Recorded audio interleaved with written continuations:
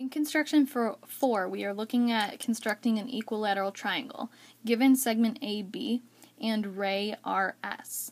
Our goal is to construct an equilateral triangle using side length AB, but put it on top of RS. So the first thing we have to do is know what an equilateral triangle is.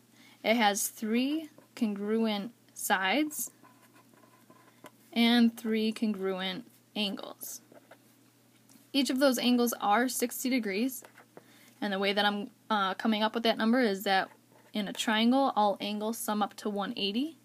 There are three angles in a triangle, so that division lends us to 60 degrees. So your first step is to measure the length of segment AB. Now, when you're doing constructions, you're not actually supposed to use the ruler. Okay, you can use a straight edge, but without number marks.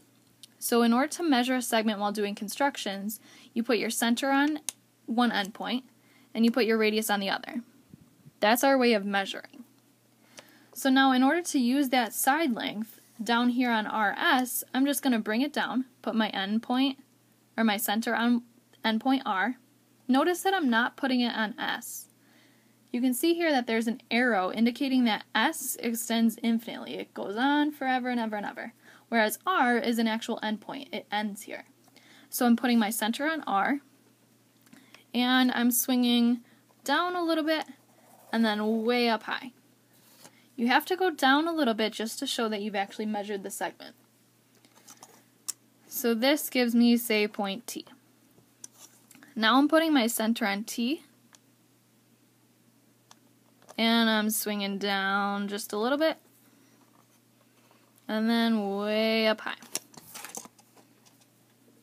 So here I have this intersection point, say Q. Now, it looks like we could have a triangle going on here, but we don't love curvy triangles. They're a little weird. They don't actually exist. Um, so what we're going to do is actually create the triangle itself. The last and final step is to connect R to Q and T to Q. So now I have equilateral triangle QRT, where all of the side lengths are the same, all of the angles are the same, and they were constructed using the length of AB.